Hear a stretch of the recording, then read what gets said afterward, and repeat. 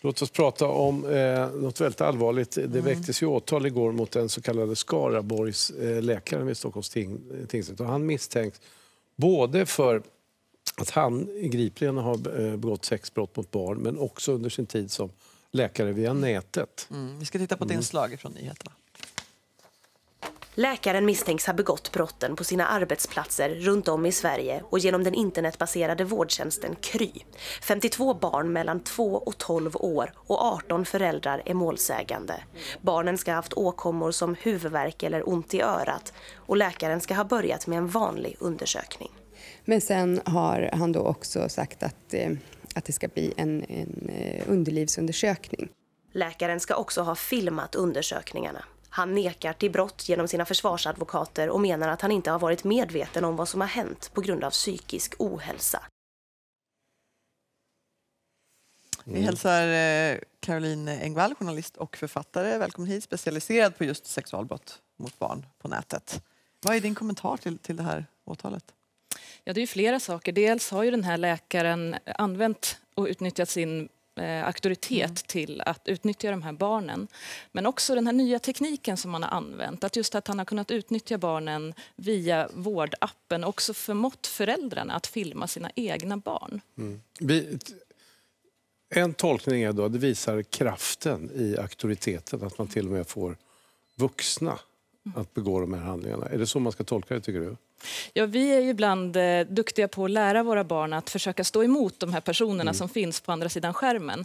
Men just det här ärendet visar hur svårt det kan vara att också som vuxen och förälder eh, att vi faktiskt går på det som läkaren säger att vi, att vi ska göra. Mm. Men hur svårt är det att upptäcka en sån här typ av förövare?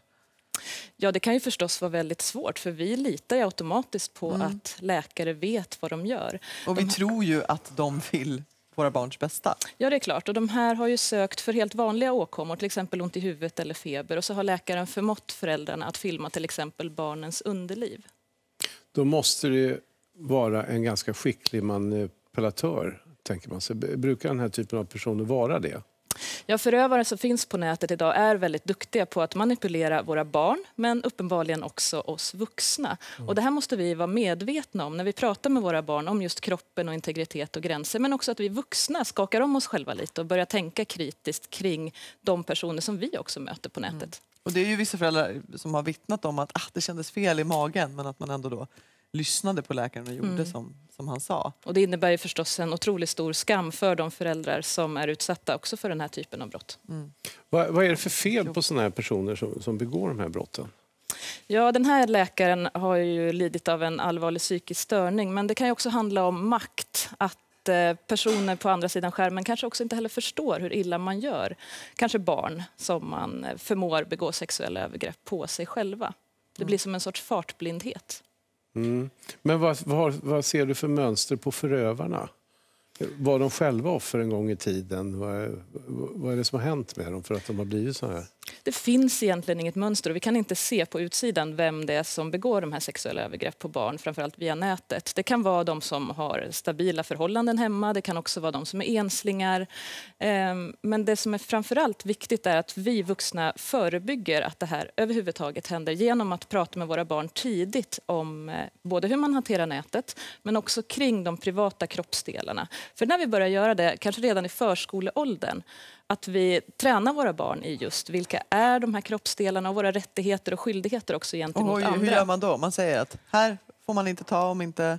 En bra regel är ju den här underklädesregeln. Eh, de kroppsdelar som finns under underkläderna, också munnen, är kroppsdelar som ingen annan får röra om man inte själv har gett sin tillåtelse. Och där kan man träna barnen i redan när de är från ett, två år. Mm.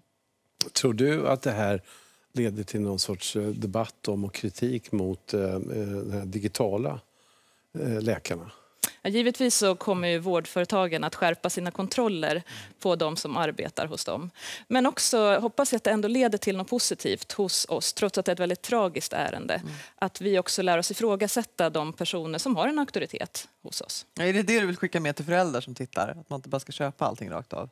Ja men absolut, men framför allt att vi genom att den här nya digitala tekniken möjliggör en helt annan typ av mm. brottslighet mm. mot våra barn och också mot oss vuxna. Att vi hela tiden är på vår vakt och är mm. medvetna om det. Mm. Ja, vi får följa det juridiska också, vad som händer i det här fallet. Tack, Tack för Tack. att du kom.